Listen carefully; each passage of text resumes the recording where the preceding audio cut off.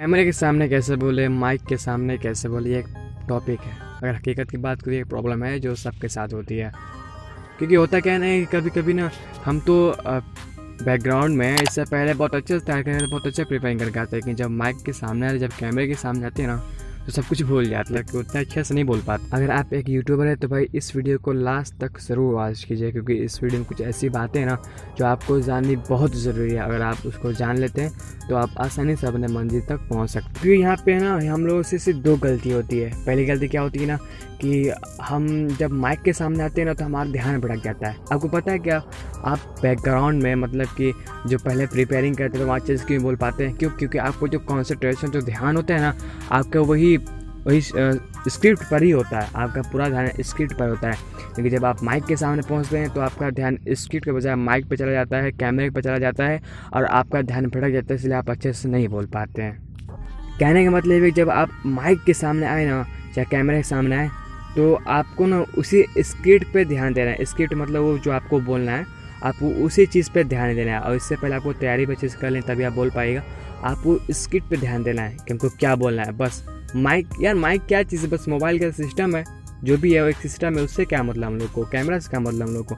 आपको बस जो आप काम करने वहाँ पर गए हैं, आप स्क्रिप्ट बोलने गए हैं, आपको वैसे ही बोल के जैसा आपने प्रिपेयरिंग किया, आपको जस्ट वैसा ही वहाँ पर बोल देना है। पहली बात यहाँ पे निकल आती है कि जब आप माइक के सामने आए कैमरे के सामने आए तो आपको अपने स्क्रिप्ट पे ध्यान देना है कि आपको जो बोलना है, आपको उस पर ध्यान देना है। क्या किसी से डर है क्या यार? क्या अपना माइक है, अपना कैमरा है, अपना वीडियो रिकॉर्ड कर रहे हैं, कोई कुछ कर लेगा क्या? आपको फालतू बात पर ध्यान देना, बस आपको अपने स्क्रिप्ट पे ध्यान देना और दूसरी बात निकल जाती है वो ये ना कि भाई, आपको अगर अपने वीडियो को रैंक करना है, आपको सब्सक्राइब पाना है ना भाई तो आपको क्या करना है कि जब आपने वीडियो को रिकॉर्ड कर, जब आप बोले ना तो आपको उसमें ना अपनापन देना अपनापन से मतलब कि जब आप कैमरे के सामने आए ना तो इस तरह बोले, इस तरह बात करें, इस तरह रिएक्ट करें कि लगे कि हाँ कोई अपन है। मतलब जैसे आप अपने दोस्त के साथ बात करते, किसी अपने से बात करते ना, आपको जस्ट वैसा ही बात करना है कैमरा वैसे ही लोगों को समझाना है, वैसे ही रिएक्ट करना है, ठीक है? क्योंकि जब आप अपनापन देंगे ना अपने सर्विस से, अपने काम में तो लोग आप, आपकी तरफ़ अट्रैक्ट होंगे, आपको पसंद करेंगे, आपको लाइक करेंगे, आपको सब्सक्राइब करेंगे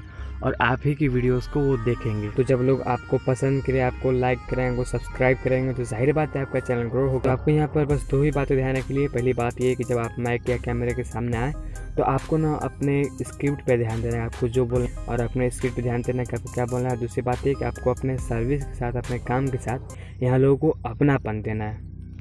ताकि लोग आपके कैरेक्टर को पसंद करें। और भाई डरना बिल्कुल भी नहीं है, क्योंकि ऐसा है ना कि भैया हम लोग आज़ाद देश में पैदा हुए ठीक है? तो बिल्कुल भी मत डरिएगा। बिल्कुल बेझिझक, बेडर होके आप कैमरा या माइक के सामने बोलिए। तो अगर आप एक यूट्यूबर तो भाई चैनल को सब्सक्राइब ज़रूर कीजिएगा। मैं इस तक वीडियो लाते रहता हूँ। अगर इसकी प्रॉब्लम हो रही है, कोई बात समझ में ना आ रही है तो भाई हमें कमेंट कीजिएगा। हम रिप्लाई देंगे। और वीडियो को लाइक कीजिएगा। और आप इंस्टाग्राम पर फॉलो कर सकते हैं। लिंक डिस्क्रिप्शन में दिया हुआ है।